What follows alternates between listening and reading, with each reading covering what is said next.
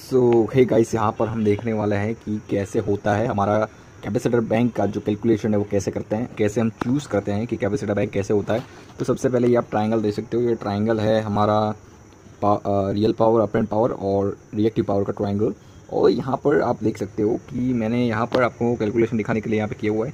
तो ये है हमारा रियल पावर और ये है हमारा रिएक्टिव पावर तो उससे हम के का एक फार्मूला बढ़ाएँगे जिससे आपका जो के वी आर आप फाइंड कर सकते हैं। तो सबसे पहले यहाँ पर ये आपको बताइए होगा रियल पावर जो है, जो कंज्यूम करता है लोड ओके तो लोड जो हमारा कंज्यूम करता है, उसको हम रियल पावर कहते हैं और ये है रिएक्टिव पावर जो कि रिवर्स होने में हमारी मदद करता है हमारे पावर को। तो पहले इसका फॉर्मूला ये है P V I cos five इसका वी आई साइन फाइव है। और यहाँ पर K W P is equal to K W वो किलो वाट में होता है क्यू के वी आर में होता है तो वो के डब्ल्यू के वी है यानी कि वी का के वी और आई का एम्पियर कॉस फाइव और यहाँ पर भी सेम और यहाँ पर K V A is equal to ये हमने यहाँ पर ले लिया है और ये यहाँ पे चला गया तो इसका ये हुआ है K V A is equal to K W upon cos five और इसमें भी same K V A upon K V R upon sine five हो गया है।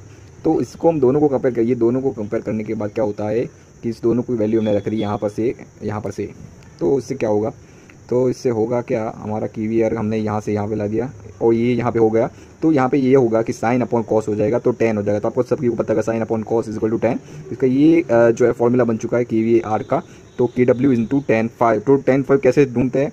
वो ये रहा कि अगर हमारा कॉस जो है वो power factor point six five lagging है, या लीडिंग जो भी है लैग या लीड जो भी हो, मगर यहाँ पर पॉइंट सिक्स फाइव है तो उसको हमको डिग्री में कन्वर्ट करना होगा तो वो होता है इस तरीके से। Five is equal to cos inverse into point six five is equal to forty nine point forty five degree वो आ जाएगा। कॉस इनवर्स करना होगा तो इससे मिल जाएगा। तो मैं आपको एक, हमारा जो लोड हमने कंसिडर किया था, उसका मैं वैल्यू आपको दिखाऊँगा कि कैसे हमने कंसिडर किया था। तो ये रहा हमने जो कंसिडर किया था टेन विलो वॉट का जो हमने लोड कंसिडर किया था R L load capacitor bank यहाँ पे टेन किलो वोट आ चुका है। P I V A cos five तो करंट हमने फाइंड कर दिया इससे यहाँ पे ten thousand four fifteen volt का वोल्टेज और point six five thirty seven ampere का हो गया और क्यू भी हमको मिल गया यहाँ से। तो ये वैल्यू हमने यहाँ पर पुट कर दी।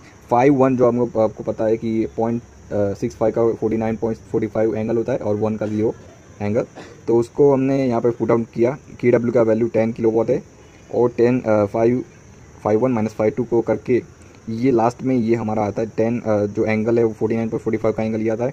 तो इससे क्या होता है कि हमारा कैपेसिटर का लास्ट वैल्यू जो है वो ये आता है। तो इससे हमको फाइंड कर सकते हैं कैपेसिटर बैंक का वैल्यू कैसे मिलता है और इस तरह से हम लोग तो कैसे ऐसे वीडियो को हमारे चैनल को सब्सक्राइब कर दीजिएगा और ऐसे ऐसे ही हम, मैंने फाइंड किया है, ये राइट मेथड या रॉन्ग मेथड मुझे पता नहीं है, मगर आपको अगर ये सही लगता है तो आप नीचे कमेंट कीजिए और आपको कोई एक्स्ट्रा मेथड पता है तो आप नीचे कमेंट करके बताएगा क्योंकि ये मेथड मेरे हिसाब से ही राइट है, जो मैंने चूज़ किया है जिस तरह से, और इससे रिज़ल्ट भी आ रहा है। आपने सिमुलेशन नहीं देखा है तो आई बटन पर जाके देख सकते हो।